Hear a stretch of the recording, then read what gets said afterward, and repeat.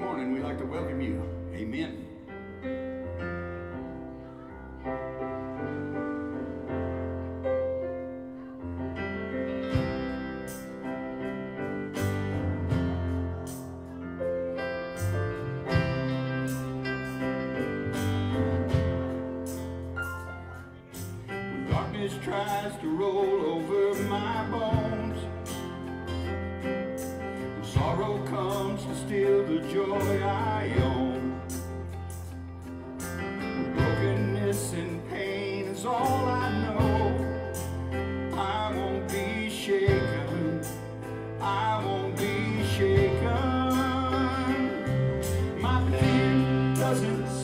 chance when I stand in your love. My king doesn't stand a chance.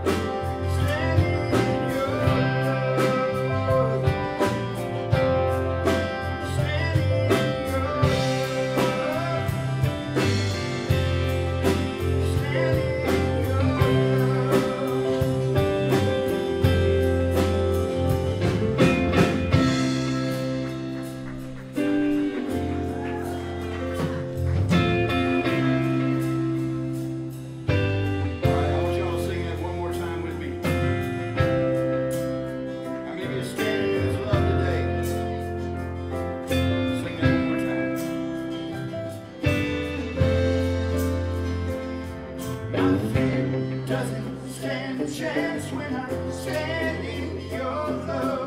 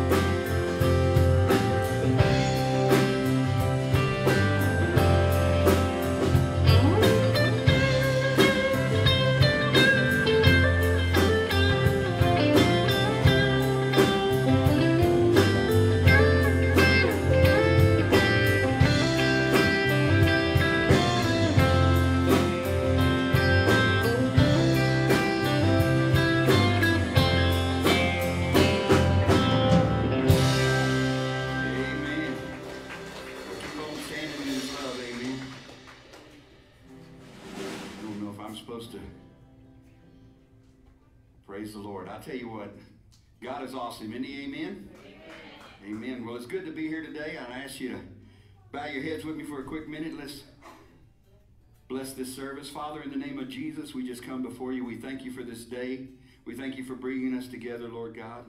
I just pray right now that your presence and your power will fill this place, that your anointing will come, Lord God, that you'll break every yoke, you'll break every chain, everything that's holding us bound, Lord God, everything that's holding us back, and that we'll just come to know you greater and greater and serve you more and more. In Jesus' name, and everybody that agreed said, Amen. We'll turn to a couple people say, It's great to be in God's house. All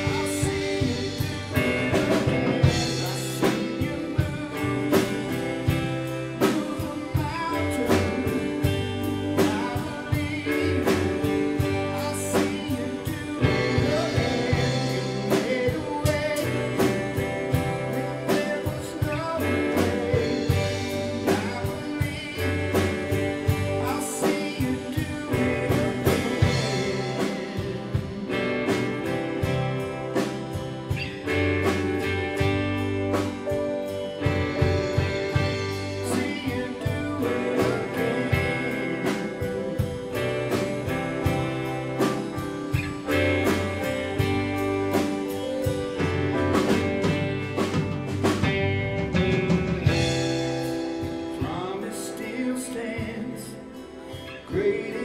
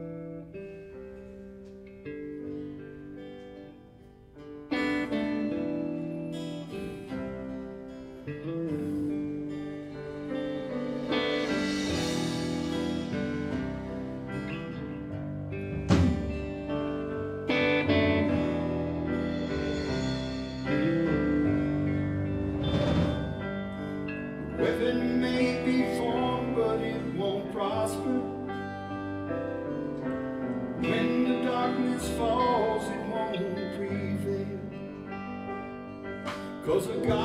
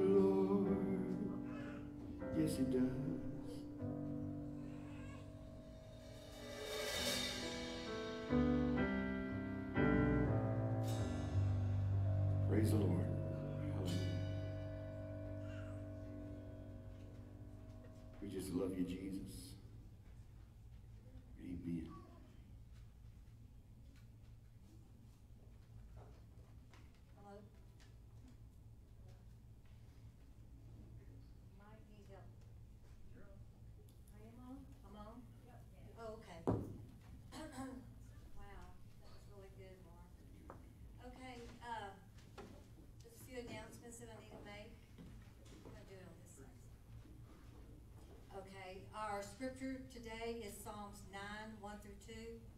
I will praise thee, O Lord, with my whole heart. I will show forth all thy mar- marvelous works. I will be glad, and rejoice in thee. I will sing praise to thy name, O thou most high. Uh, the Lord wants our whole hearts, not singleness, but our, our whole heart.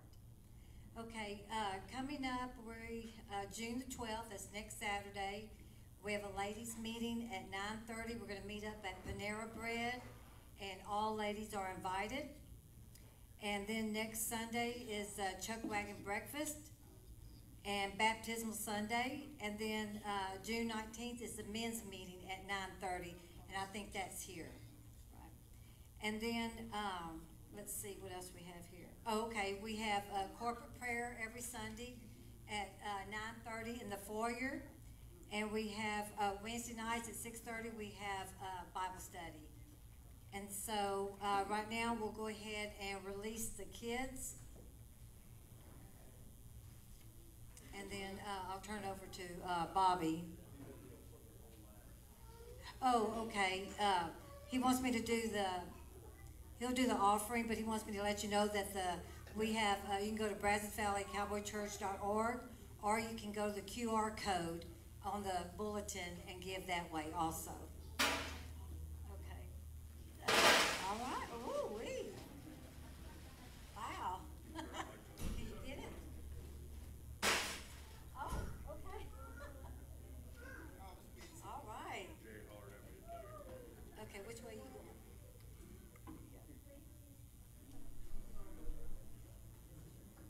Good morning. Hey, it's good to be in the house of the Lord, isn't it? I tell you what, it's uh, good to have Mark here today, and I'm gonna tell you what. Today, just come expecting a miracle and and God to meet you where you're at, and and whatever you pray for, believe and trust God that He's going to be able to meet it because He is in the blessing business. And if we're faithful servants to the Most High, He's going to be faithful giver and merciful to each and every one of us. Isn't it good, Mark? Each day it says His mercies are renewed every day. And really, I, I I can say moment by moment His mercies are renewed. Moment by moment. If you look around at times that uh, a couple of times here in the last couple of months, I could have been involved in some serious accidents, and just all of a sudden, just um, you know, God just diverted the attack of the enemy on us. And this morning, it's going to be great to just have a time to give to the Lord and to, to just uh, really stretch out our faith and trust Him in what He's blessed us with today. And um, I've just really been praying and, and asking the Lord for a direction to go in with our church. And, and guys, I think we're on the horizon of really reaching out and going in some really great directions. And uh, Pastor Will's just taking a week off on a vacation, and and uh, just I tell you what, I believe when it comes back, we're going to go forth. You know, man, we're I, God's given me a vision, Brad, that we're like a we're like a lighthouse on a hill out here, and, and people are going to be drawn to us, and and uh, each and each and every one of us reach into ourselves and find out, God, what what would you have me to do? What is my gifting? What is my talent? And bring it in to, to the body here. And so as people come in, we can share, we can show them the strength and the love of the God because Marcus, you're you're going to be preaching here in a little while. And what is it about? It's about trusting God and to come into the hurt wounded. We're we're a soul hospital here. You know, we're a soul hospital. And people are coming in hurt and injured and wounded and everything. And, uh, and, and what do we want to do? We want to get them healed up. We want to uh, exercise our faith and, and that their faith can be exercised and grown and see the mighty hand of God to work. You know, this morning as, as it's time to give our tithe and offering and everything, I just went before the Lord and Will always says when he starts out, God loves a cheerful giver. You know, he loves a cheerful giver. Man, thank you, God, that I'm that at least wait, I've got enough. Uh, I've got something that I can give. You know, he's. It might not be nothing, but like one little boy uh, came to the came to the rodeo and he said, "Hey, I want to start tithing y'all's ministry." We were looking for an answer. God, you really want us to, you know, to go? And I think I shared this before. And y'all really want us because we were having a good time going to the high school and youth rodeos. And and uh, Pistol Robinson came up and his dad was there. We were talking. Said, "Okay, Pistol, tell uh, uh, Mr. Davis here what God told you." He's, "I'm supposed to tithe to you." And uh, I went, praise God. And his granddaddy was there, and he was a pastor of Assembly of God Church there in Stephenville. He said, well, what about me? He said, Papa, God didn't tell me to tithe to you, you know? and and uh, so you know what it was? It's like three dollars and fifty cents, you know. And uh, I went, well, that's a good start. So when Pistol left, you know, I told Daryl, I said, and then next rodeo he came, I think it's five dollars or something. He was riding calves or steers. I said, you know what, Daryl, this is really good. I said, but man, I, we got to get him some bigger rodeos if we're going to go very much further. You know, he said, well, one day when he makes the NFR and wins the world, you know, about two hundred thousand. I said, hey, we're going there, you know, and. Uh, but anyway, though, you know, it's it's uh, good to give back to God, and, and one of the things we've shared this before in, in giving that uh, God wants our faithfulness and He wants to bless us. And when we do give to God, then uh, Brian, He's going to bless the other part that He that He that we set back for ourselves. We give God our tenth tithe as the first ten percent of the fruit of the field of what God has blessed us with, and then see that God says, See that I don't pour open a blessing and the windows of heaven and pour out such a blessing for you that, I, that your what? Your barns, everybody say barns, will not be able to contain it. How many guys want your barn overflowing? Well, how many of you guys want your finances overflowing? How many of you want your home overflowing uh, over? I do. And it says, pressed down, shaken together. I used to haul grain. And, and one of the things, Larry, you can do is have a trailer full of cotton seed, and man, it's overflowing. You ain't got 20,000 pounds on it. You're getting weighed by the tonnage, you know? And that trailer hold about 50,000 pounds.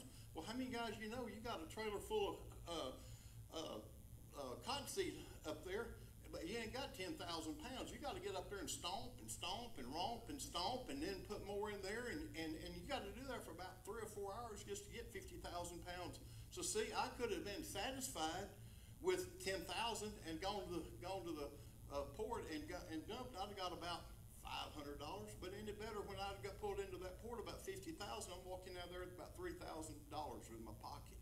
So see how it is, and I can and we can relate to that, Jay. Shaking together, pressed down, overflowing. Don't be satisfied with where you at. Put God to the test and see that He doesn't pour over. And if you're watching online, we suggest that to you too. If you're needing something, give to God.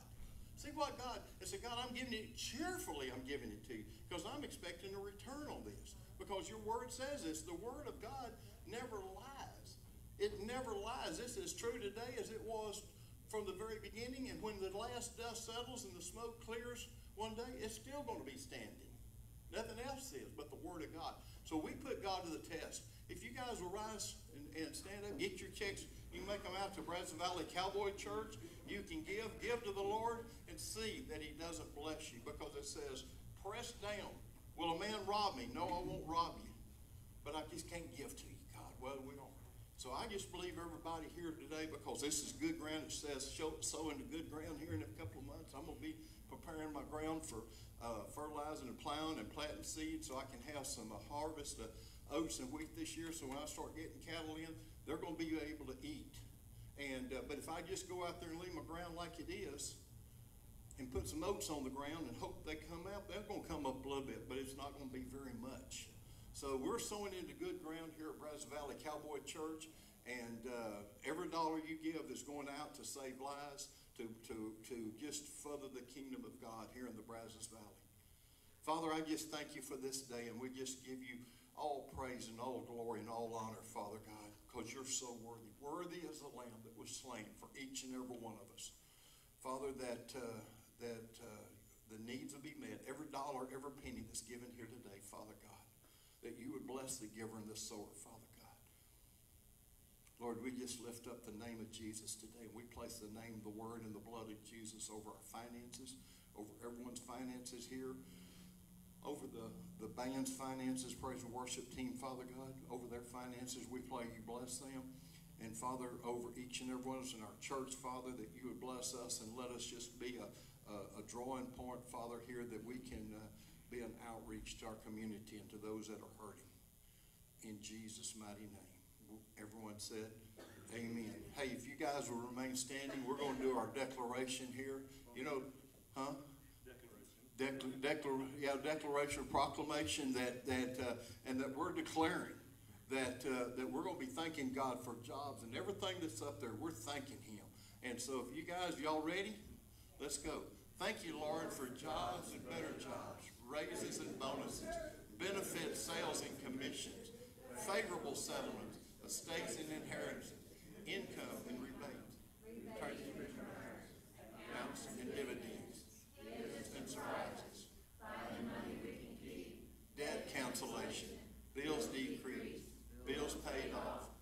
blessing and increase. Thank you, Lord, for meeting all of our financial needs and all our church's financial needs, so that we will have more than enough to give into the kingdom of God and promote the gospel of Jesus Christ forever and ever and ever. Everybody said, Amen. Guys, we started doing that about a year ago, and it is amazing. It is amazing what God has done here.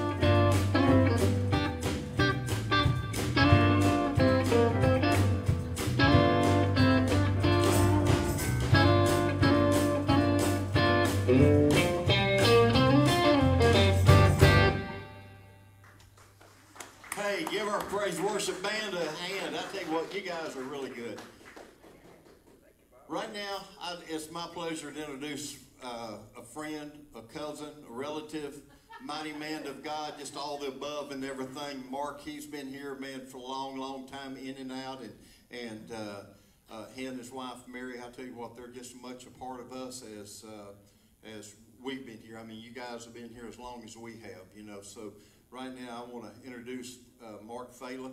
How many of you guys heard Mark before? Amen. You guys haven't? I tell you what, get ready, because I tell you what, anything can happen. Yeah. Oh, thank you. Boy, that's pretty hot. Amen. Well, I'll tell you what. I mean, I enjoy myself every time I come here. Amen. It's uh, it's just good to come back to what we considered home for so long, and it feels just like home still. And I thank y'all for making it feel that way to us. Amen. Amen. Well, I want to talk to you a little bit today about the new wine. You know, how many of you like wine? Never mind. Don't don't answer. the new wine. I want to start with a with a passage that everybody's familiar with, and it's uh, Psalms 23. Amen. It says here, "The Lord is my shepherd." We all know it. I shall not want. You say it with me if you like. He makes me lie down in green pastures. He leads me beside still waters. He restores my soul. He leads me in paths of righteousness for his name's sake. And even though I walk through the valley of the shadow of death, I will fear no evil, for you are with me. Your rod and your staff, they comfort me. You prepare a table before me in the presence of my enemies. You anoint my head with oil. My cup overflows. Surely goodness and mercy shall follow me all the days of my life, and I shall dwell in the house of the Lord forever. I'll tell you what, that is one of the one of the most peaceful psalms when you're having some issues in life, when you're having some troubles, when you're kind of un, uh, concerned about some things. You can read that because God is your shepherd. He will never fail. Amen. And I, I just want to key in on something real quick here. He says here in verse number five, he says, "You prepare a table before me in the presence of my enemies." Now think about that. I, have I've read over that scripture several times, and I heard somebody say something about it, and it just like a light it came on him. You prepare a table for me, where? in the presence of my enemies. Amen. How many of you ever thought of that? God has prepared this table, and He's saying to you, no matter what's going on in your life, whatever enemy is assailing you, I've got a table prepared for you. No matter what kind of conflict you're having in your relationships, come sit at my table. Amen. No matter what's going on in your health, come sit at my table. I've got a table prepared for you in the presence of your enemies, no matter what enemy is assailing you. And that's just so comforting me. Come sit at my table because I've given you all you need pertaining to life and godliness. Amen? It's at my table, but you got to come sit at my table. Amen? He says, whenever you have these issues and you're being tempted, you don't think you're being tempted beyond what you can bear because I've got a table prepared. I won't let you be tempted beyond your ability. Just come sit at my table. Have you ever thought about that? We struggle so much. We fight and we, we toil and we try to make things happen for ourselves. And God is just saying, Will you please just come sit at my table? Just come sit at my table. And it's, it's, it's just, it's amazing to me. So, what is at this table? What is at the table that God has prepared for us? In Isaiah 25, 6, he says this And on this mountain shall the Lord of hosts make unto all people a feast of fat things, a feast of wine on the lees, of, of fat things full of marrow, of wine on the lees well refined. Amen? Now, think about something here. When they brought an animal sacrifice, where did the fat things go? Where did the good things go? Where did they go? They went to the Lord. They were sacrificed to the Lord. But God is saying to you, Come, I've got a table prepared for you, and I'm going to give you my servant. I'm going to give you what I usually get. Just come sit at my table. Just come sit at my table. I love it.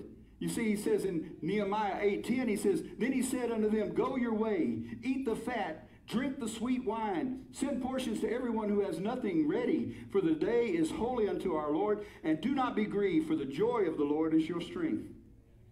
Come sit at my table. Rejoice in the presence of your enemies. I love it. In the presence of, you know, that's why Paul could say, I rejoice in my tribulation. In the presence of my enemies, God has prepared a table for me. And it's just an awesome, awesome thing. You know, the second thing he says in here, what else is at the table? It says wine on the lees. And it says finely or well refined wine on the lees. Amen. Now there's a, there's something about wine on the lees. You see, in the dictionary of the Bible, it says wine on the lees means a generous, full-bodied liquor. It said before wine was consumed, it was necessary to strain off the lees. Such wine was then termed well refined. Now, what are lees? Lees are the dead yeast that settle at the bottom that cause the wine to be fermented. You know, there's a lot of questions in the Christian community today about whether the wine was alcoholic or whether the wine didn't have alcohol in it, it was just grape juice. But you know, the thing is, God is calling you to know He's using fermented wine on the leaves, well aged. Amen. Now, now, why does that matter? You see, it says here any full bodied wine has 13 or 5% more alcohol in today's language. It is a alcoholic beverage. Amen. Now, do you abuse it? No. We don't need to abuse it. But it's for joy, it's for celebration and festivity, expressing the blessings of God. And it was used throughout the Old Testament and New Testament all the time. There's no question about it. And I, and I wanted to research some of this stuff, and, I, and I'm going to tell you why in just a second. But it says right here, we celebrate what's already happened. How many of you celebrate something before it happens? You know, your birthday's already happened. You celebrate it. You're, you get married. You don't put the party before the marriage. It's after the marriage. You, you celebrate after the fact. Amen? Now, many biblical scholars argue consistently and clearly that not only does the wine of the Bible contain alcohol, it's uh, maintaining firm, uh, unfermented grape juice would be virtually impossible. And why is that? You know, this is this this scholar here is uh, he's an interpreter, and this is the one who said all this. But I, am not real concerned about that. There, there's no such thing as grape juice without intervention, which is pasteurization. Okay. Now, the wine was alcoholic. That's my, my only point. It was it, it was an alcohol-filled wine for celebration. Now, I'll say this Christians should exercise caution with wine and strong drink, practicing moderation and self control. And toward one another, it is important that we allow for liberty without passing judgment for either drinking or abstaining. Some people get on to you for abstaining. You know? No, neither one. Now, I'm, I'm going to show you a little bit here. Because some can drink to the glory of God and some can abstain to the glory of God. In Romans 14, 1 and 4, it says, Receive one who is weak in the faith. This, this intrigued me when I read this. It, it really did. I want you to look at this very carefully. Do not receive the one who is weak in faith, but not to disputes over doubtful things. For one believes he may eat all things, but he who is weak eats only vegetables. Now, that's I, I, just don't run over that. Listen to that. He goes on. He says, "Let him who eats despise him who does not, not despise him who does not eat, and let him who does not eat judge him who eats. For God has received him. Who are you to judge another man's servant? For his master is only stands or falls, and indeed he'll stand because God's able to make him stand. But my point is, one serves God by not eating meat and gives glory to God. One serves God by and, and, and gives God glory by his eating. Same way with the, the, the, the drinking. And my, my whole point, wine is for celebration. Amen. Aged wine was used, and it looks backwards. You're always celebrating when you when you're when you're drinking aged wine. Amen. But God's doing something new. Okay? God's doing something new in life. And I'm gonna knock this whole table down. And then I'll be doing something new here. He's doing something new. We got some new wine, guys. God is doing some new things. He's doing some new things. He says here in Isaiah 43 19, Behold, I'm doing a new thing. Do you not? It springs forth. Don't you see it? Can't you see it? I'll make a way in the wilderness. I'll make rivers in the desert. I'm doing something new. You're still drinking your old wine. Amen. But God wants you to get the new wine. Amen. Listen, Jesus said this. He said, I'll ask the Father, and he'll give you another helper who'll be with you forever, even the Spirit of truth, whom the world cannot receive because it neither sees him or knows him. You know him, for he dwells with you and will be in you.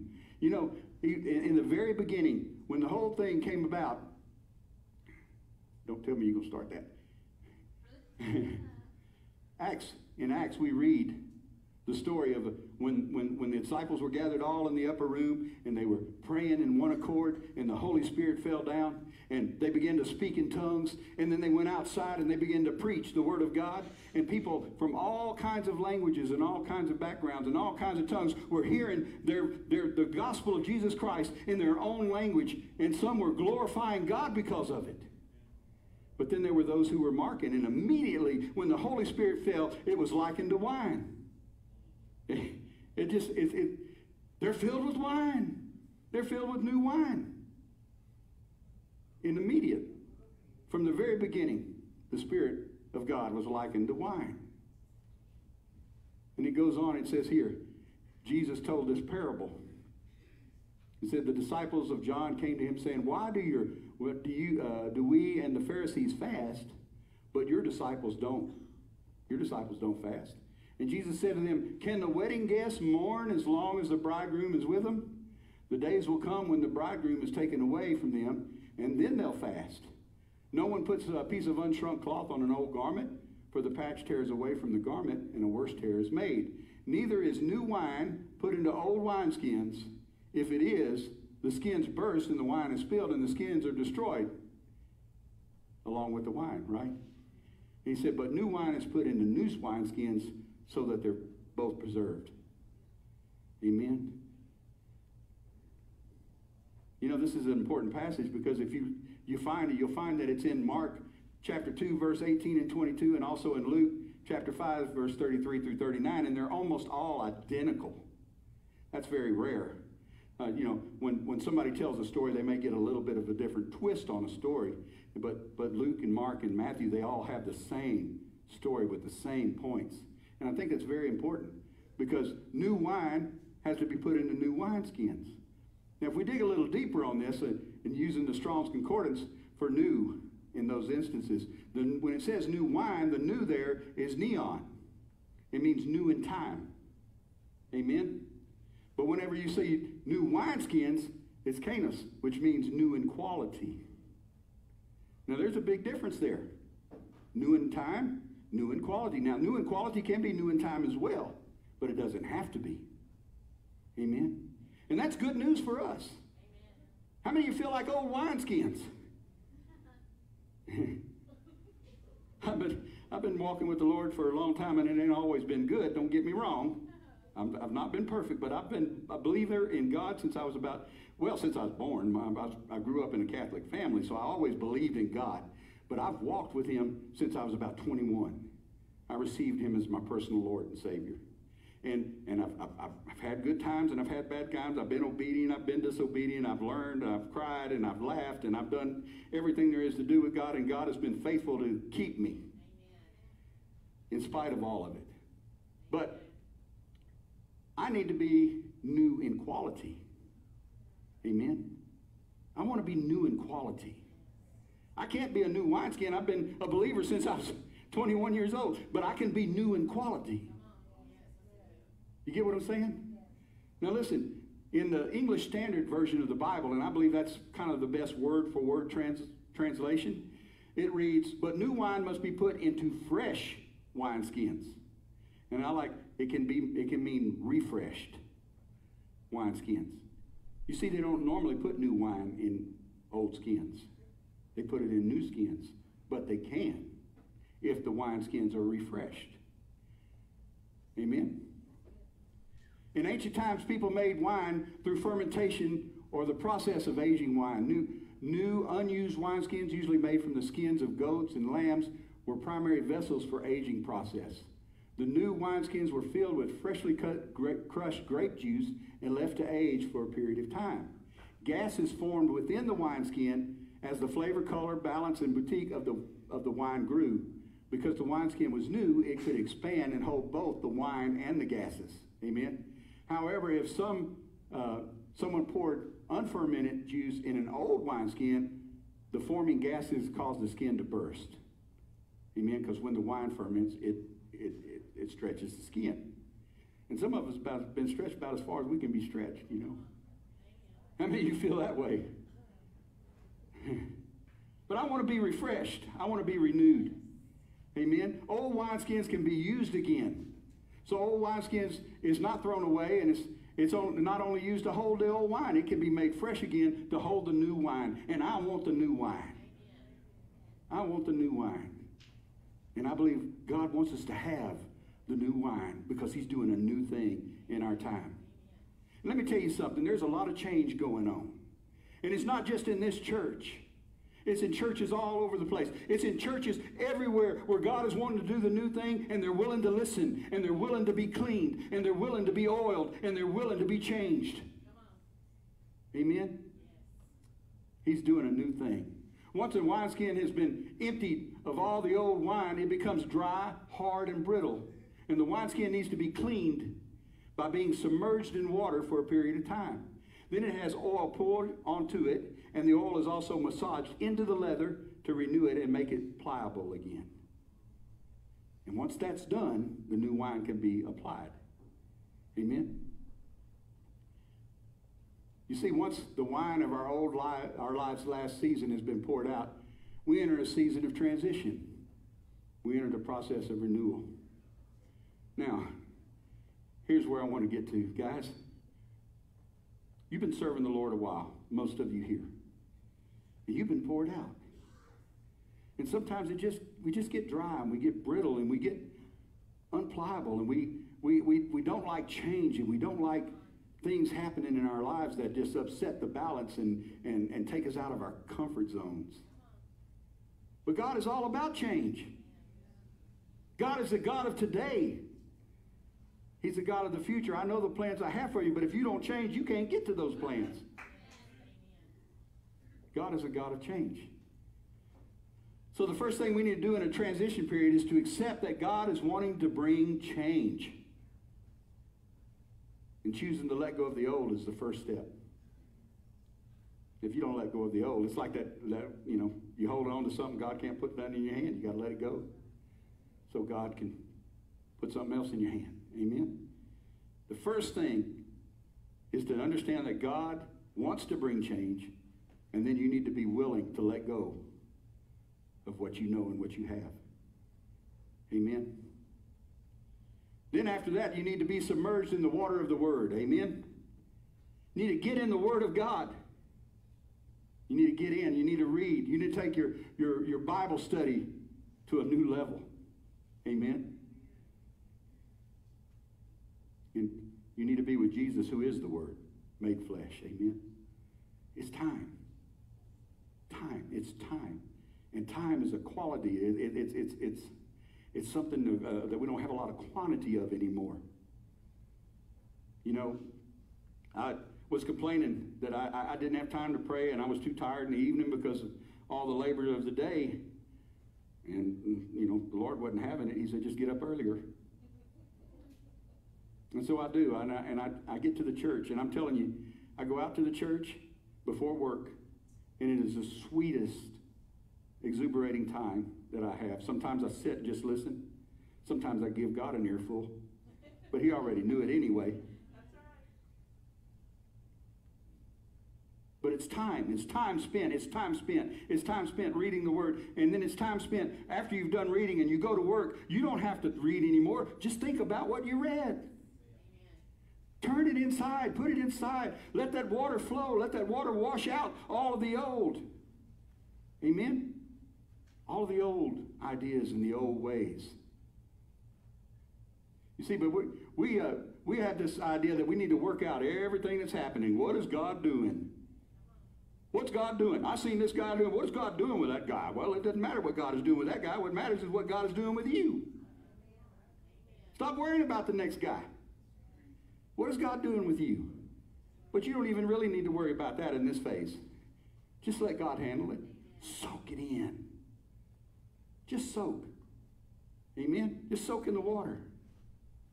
Don't try to figure out what the future holds. Everybody wants to know what the future is. I mean, I spent so much time figure, trying to figure out my future, and God just went, this is the way we're going. No, I want to go that way, Lord. I mean, he does it all the time. So why do we worry about it? Why do we spend the energy worrying about what God is doing, what's happening, and where we're going? God is already there. I mean, it took it took forever for me to figure that out.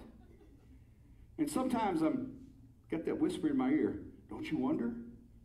Shut up. God knows what he's doing. Amen? We don't need to figure it out. All we need to do is just soak. We just need to immerse ourselves in the Word and in Jesus, and for a time, just soak. Be cleansed. Amen? And once you submit to that cleaning by the water of the Word, God will begin to pour oil over you, and a fresh anointing will be released over you, and a new awareness of His presence, and a fresh revelation and understanding of what He's doing in you and through you. But in His time, not yours. Amen? In his time, not yours. Not only does he pour the oil out, the Father will begin to massage it into you. Amen? He'll just massage that by the Spirit into you. And uh, I love what it says. He, he does this gently and sometimes not so gently. I had to put that in there. How many of you have ever had a time with God when He just you you needed some you needed some some some uh, some uh, sympathy? Huh? You wanted sympathy and you went to God, God, it's just so hard. I'm, I'm doing all I can do, but I just can't. Why did that happen to me? I didn't, I didn't think I deserved that. Maybe I did, but I don't think I did, Lord. And I, I just don't understand why, why all this is happening. And he says, shut up. And listen, I'm telling you from experience. I'm laying on the, the living room floor crying about losing my job. God, I didn't deserve that. Well, maybe I did. Or maybe I didn't. But that really didn't matter. It happened, right? And I'm sitting down here and I'm, I'm crying about it. And God, I'm, I'm expecting Him to just coddle me. And He says, Shut up. I mean, just loud like that. And it stunned me. And He said, Get up. Get up. That's right. He said, Get up. And so I stood up and He said, Go finish that CD. I was making my first music CD.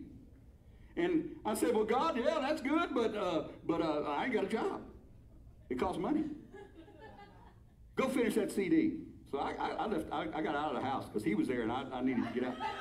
And uh, I walked to the lake, the back, and I'm just standing back there and I'm just crying. I said, "Okay, God, I, I believe. I believe this is you telling me this. I don't know how it's going to happen, but I'm gonna go. I'm gonna finish that CD." So I didn't even worry about looking for a job or anything at that moment. I, I said, I'm to finish that CD. That's what you told me to do. So anyway, I, I go to a prayer meeting. That was a couple days later. And afterwards, a man there told me, he says, just said, I can tell you his name, but I don't, you wouldn't know him anyway. And he said, I, I got to talk to you. So everybody left. We were at the table, him and I. And he says, You know, God's been dealing with me for about a week now, two weeks, and it's time I obey him. He said he wanted me to give you this, and he slid a check across the table. Almost exactly what I needed to finish that CD, and he knew nothing. Don't worry about what God is doing. He's got it. He's got it. And you know what's so bad and what's so sad is even though I know this, sometimes I'm tempted to worry. Sometimes I'm tempted to worry about everything. But that's a temptation. Amen? You got to push it aside. And you got to believe that our God has a plan and he can work out his plan because he's God. Amen? He may begin to speak to you and challenge you in your thinking. Maybe you got some stinking thinking like I had. You know, he's going to challenge you. He's going to say, Is that really right? Are you really going to condemn that person? Are you really going to judge what they're doing? Because you really don't know what's going on with them. And you really don't know what I'm doing. You know? I tell everybody, our lives are like ropes. They're intertwined and they're tied in knots. And down here there's another knot. And down here there's another knot. And there's this giant knot down here. You know, it's kind of in the middle of everything, but there's a few knots here. Okay? And we're going over to this people and says, You need to get that knot untied. There's something wrong, man. But that knot is way up here. And you got about five or six more down here that I don't see.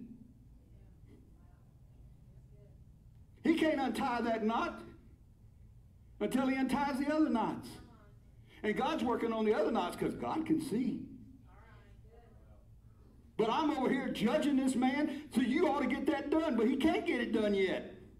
He might want to get it done, but he can't because his life is all knotted up down here. And God is working. And God is able to make him stand. You can't judge because you don't know. And if you think you know, don't do it anyway. Amen? You look at your life. You look at what God is doing in your life. You look at what God is saying, I want this. Well, God, let me give you that. No, I want this. God, take this away. Well, I will, but first you give me this. Because if you give me this, I can take that. There's just, you got to know what God is doing. Amen? In your personal life. And you got, he may lead you to step out and do some things that you've been dreaming about. But I'm too fearful. I'm afraid it ain't going to work. Well, what if it does? What if it does? Amen? He might get you to do some of those kind of things when you, but you know what? God's not going to pour new wine in skins that's not already for to receive it. If your skins aren't ready for God to pour the new wine and don't expect any. Don't expect it. Why are you expecting new wine? God would be unloving and unkind if he gave you the new wine before your skin was ready. Why? Because you would break. And God don't want you to break. He loves you too much for you to break. He wants good things for your life. But if he if you're crying out for new wine, Lord, give me a new ministry. Lord, give me new this. Lord, give me a new that. Give me, you know, prepare your skins. That's what God is saying. I can't give you that. I want to give you that. You don't know how much I want to give you that, Mark, but I can't give you that. Because I love you too much for that.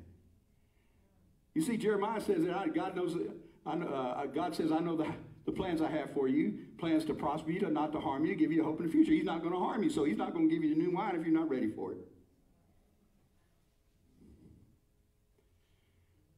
There's another lesson we can take from this, this parable that Jesus is talking about. That no one puts away, uh, puts a piece of unshrunk cloth on an old garment, for the patch tears away from the garment, and it's worse, the worst tear is made. We overlook this one a lot, but it's very important. You see, first of all, Jesus is talking to the Pharisees. And all those people are saying, why don't your, why don't your disciples fast? There they go, they're judging. Why don't, you, why don't your disciples fast? We fast. You know? I'm, I'm, I'm over here, Lord, and I'm thanking you that I'm not like that heathen over there, and I tithe on my mint and my deal and my, my income, and, you know, I'm not nothing like him, and I thank you that I'm nothing like him. You know, you know the story. The new cloth is like a new covenant. It's the new thing that Jesus came to do. And Jesus understood that they couldn't receive it because they were still full of old wine. And their wineskins weren't ready. They didn't want no change. They didn't want to stretch. They didn't want to learn new things. They weren't ready. In Hebrews 8 12, 13, it says, For I will be merciful to their unrighteousness, and their sins and their lawless deeds I will remember no more. He says, A new covenant I have made with, and he has made, when, when uh, in that he says, a new covenant, he has made the first obsolete. I like this. And now what is obsolete is growing old and ready to vanish away. Amen. You can't patch the old covenant up with the new one. Amen? Can't do it. It's the same with your old life. Amen? The word says in 2 Corinthians 5:17, therefore if anyone is in Christ, he's a new creation. Old things have passed away. Behold, all things have become new. He's not just talking about sinfulness. Amen? That needs to pass away needs to be rooted out of us. But it's also our old concepts, what we think about things, how we understand things. God is always adjusting, always growing, because you see, God is so big. He says it this way if you don't believe me, he says, My thoughts are not your thoughts, my ways are not your ways. For higher are my thoughts than your thoughts, and higher are my ways than your ways. And you got a concept over here that you're not willing to let go of. But God wants to teach you his new thing, what he's doing. I've learned one thing. I, I tell people, I, I'll read the Bible, but I don't understand it. That's good. Keep reading it. I don't care if you understand it or not. Keep reading it. Keep putting the word in. Because you know what? Precept upon precept, line upon line. And pretty soon, when you start seeing it, it all starts coming together. The Holy Spirit brings into view everything that He's trying to teach you, but it takes time. You don't have all the pieces. If you were trying to put together a puzzle and you didn't have the missing pieces, what would you do? You got to get all the pieces. And then the Holy Spirit just opens it up to you. Amen? You got to get rid of those old ideas. The new cloth is Jesus. Now, you know what I'm fixing to say. We just can't patch up our old lives with Jesus. Isn't that what we try to do? Lord, I'm, I'm going to put Jesus on my bumper. But I'm still going to race around the next car and honk and, you know, you know what I'm saying? We try to pass off, we, you know, we just try to patch up our lives with Jesus. But that's not what he wants. That's not what he wants.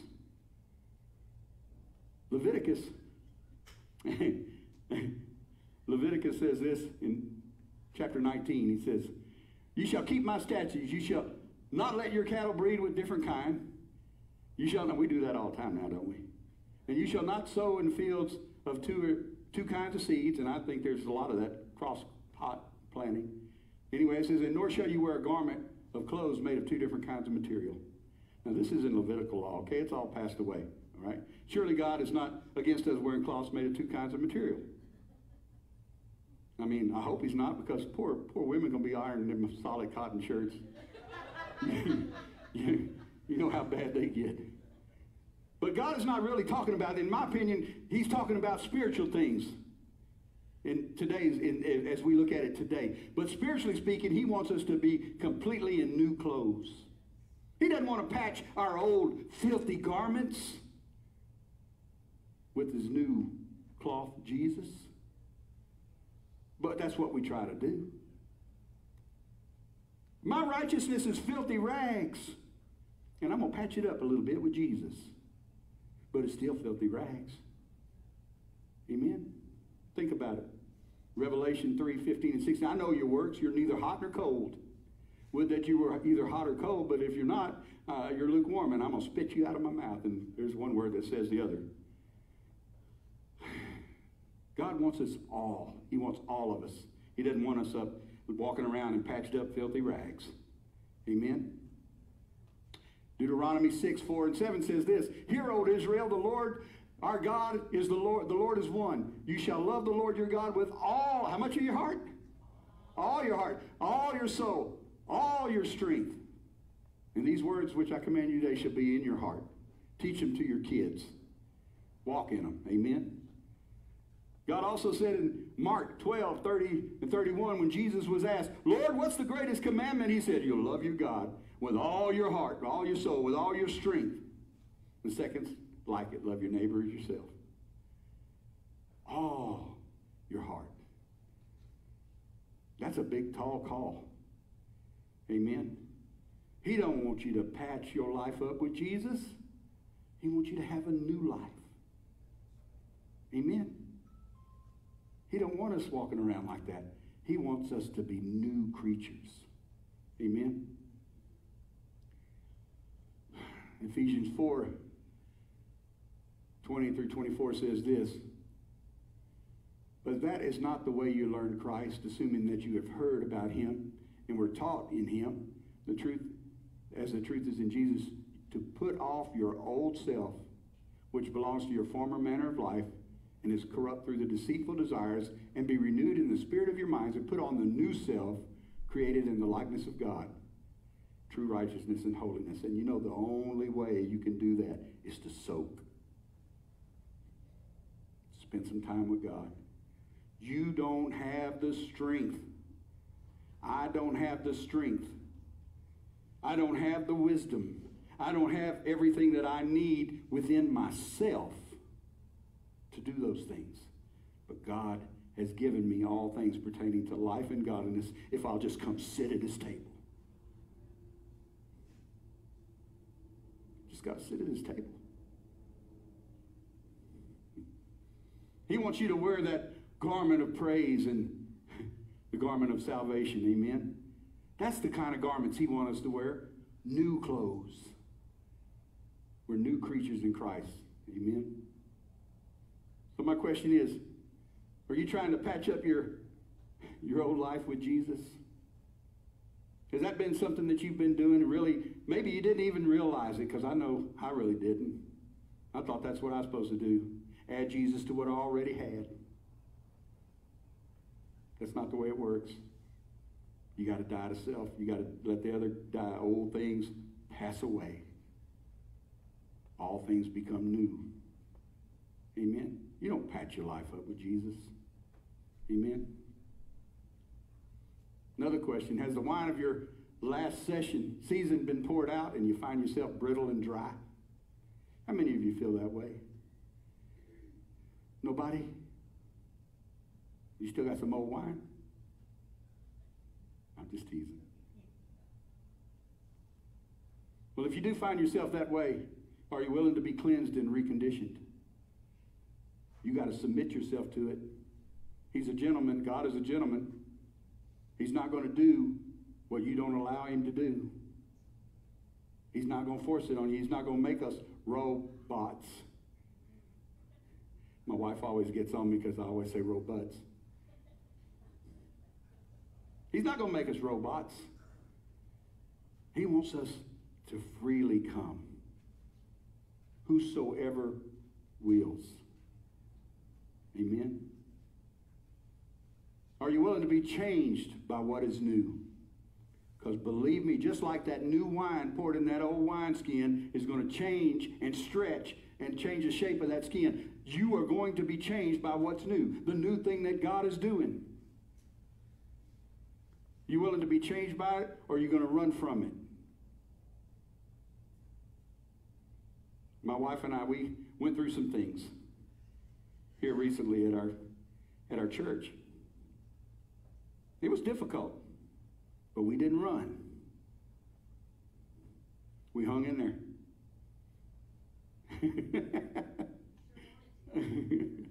it was tough. But you know, it wasn't all them. It wasn't all them. I ain't blaming them. It's those people over there. They're the ones that caused us to do. It's all no. There were some things God wanted to do in us. He was cleaning us. He was changing us. He was molding us and shaping us for the next season of our lives.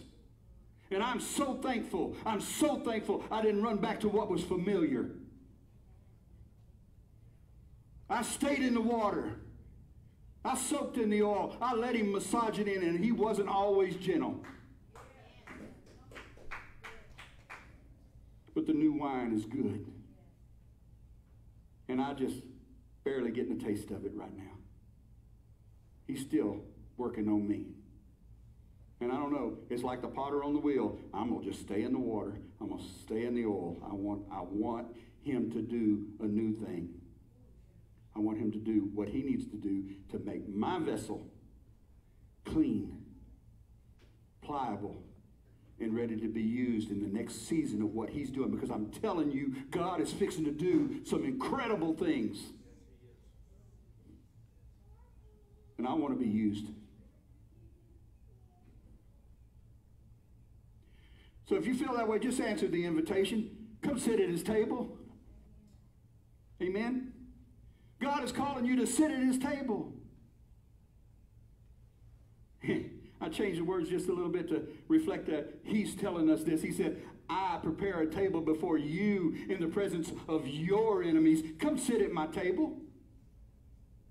Come sit at my table. Whatever enemy you're facing, come sit at my table. I've got what you need. Because I've already been there and done that. I liken it like this.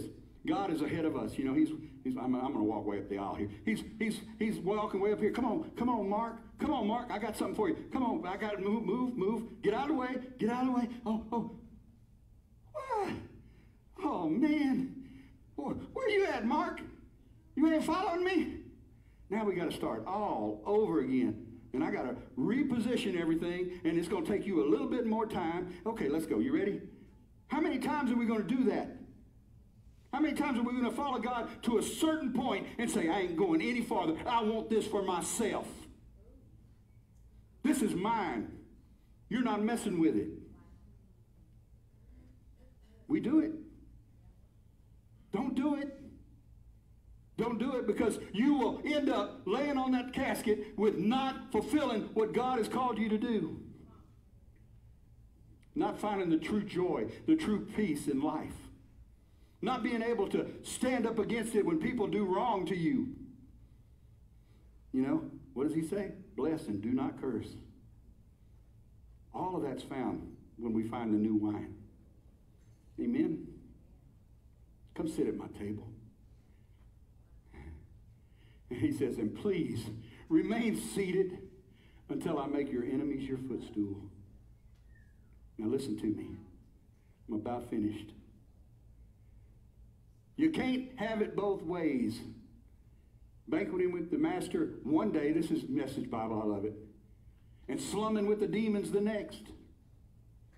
Besides, the master won't put up with it. He, he wants us, all or nothing. Do you think you can get off with anything like that? You can't eat at both tables. You know? I mean, you can. You can go back and forth.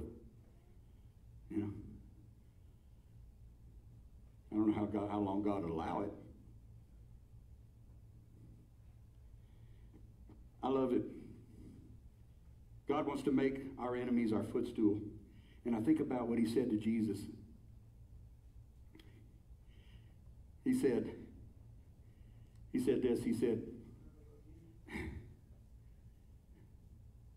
Come, sit at my right hand until I make your enemies your footstool.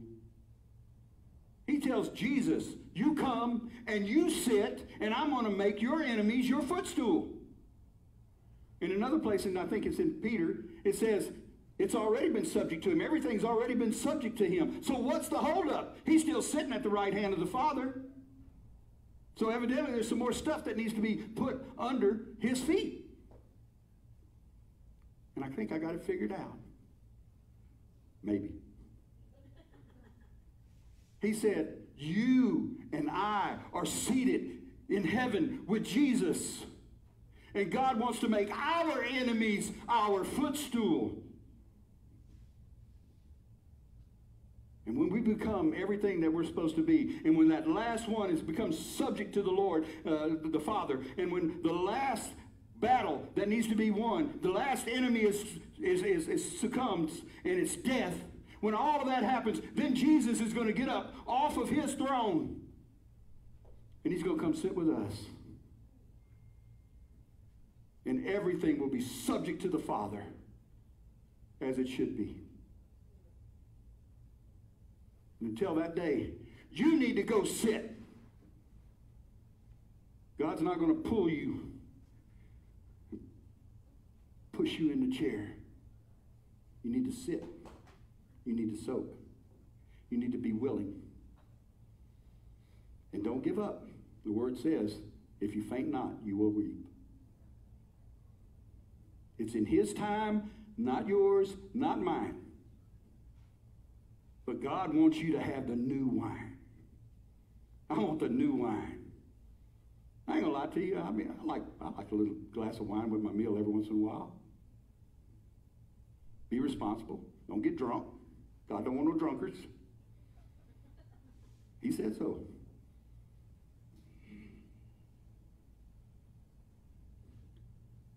There's a lot of things that people misuse alcohol, sex. There's a lot of things that people misuse. Pharmaceutical drugs. Now, all these things are good in themselves. Even Paul says that everything is, there's nothing sin in itself. He says, All things are lawful for me, but not all things are expedient. All things are lawful, but I won't be mastered by any of them. Amen? Don't be mastered. If you had a problem with alcohol, stay away from it. If God has taken you off of it and delivered you, don't you dare go back. Don't you dare. You had a sexual addiction, don't go back. Don't click it. Whatever it is, don't go back. Amen? Be cleansed. Soak in the oil of the Holy Spirit. Be ready because God is fixing to pour out the new wine. Amen? Amen. Well, Father, we just love you. We praise you. We thank you for this day. We thank you, Lord, that, uh, that you desire to give good things to your children.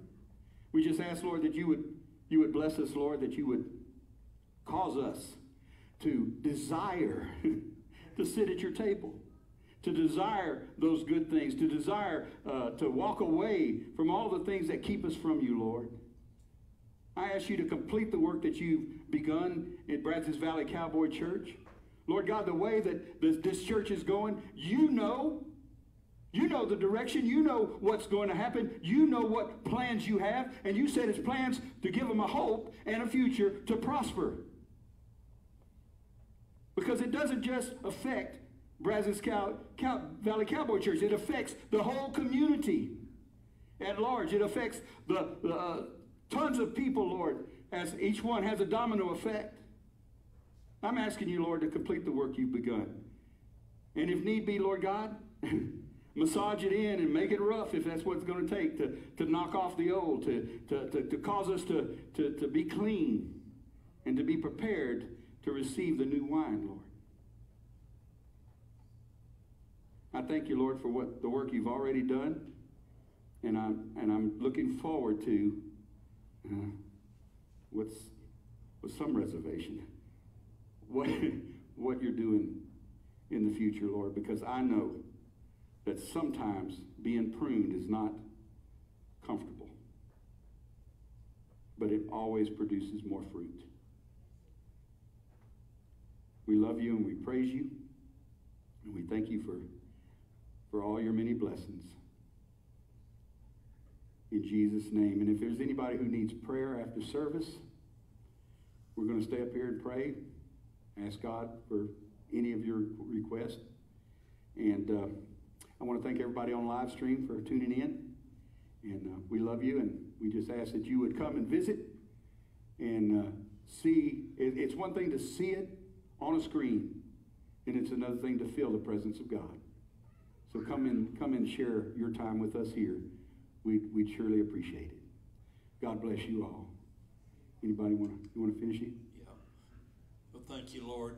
As we leave here this morning, boy, I don't know about you guys, but boy, my cup is filled up. You know, I, I, that's exactly what we're needing, Mark, is more, is new wineskins to hold what God, and we see so many people wanting more and more of what God, and I'm not going to go into a message I could, but, uh, but the, God's wanting to pour in, and, and, and we're not able to contain it, maybe for a short period of time, then we end up going back. So I'd ask our prayer partners to come up here, uh, Candy and Jay, if y'all would come up here this morning, Teresa, come up here. We're going to pray this morning. If there's a need that you have that, that you need to just pray and just, uh, I talked to Brian, man, he's, uh, he was over in, uh, Afghanistan, Iraq, somewhere, got hurt. Man, God's just, well, I believe God's going to heal his back. He's a warrior. He's a patriot, and God is going to honor that. So if there's, if there's anyone here this morning that needs prayer, come up and let us pray over you and come expecting this morning. Mark, Good word, brother. Good word. That's what we need, man. And just more wineskin, new wineskin, old the old. And Mark, y'all, y'all come up here. So as we leave here this morning, we want to thank everybody for being here. Be blessed. Have a good week. Just remember, every day is a day that the Lord has made. And what does it say, Larry? Be glad and rejoice in it. You know, and I don't know about you guys, but when I get up in the morning, I tell God, I'm going to have a good day today. No matter what happens, I'm going to have a good day today. In Jesus' name. Be blessed.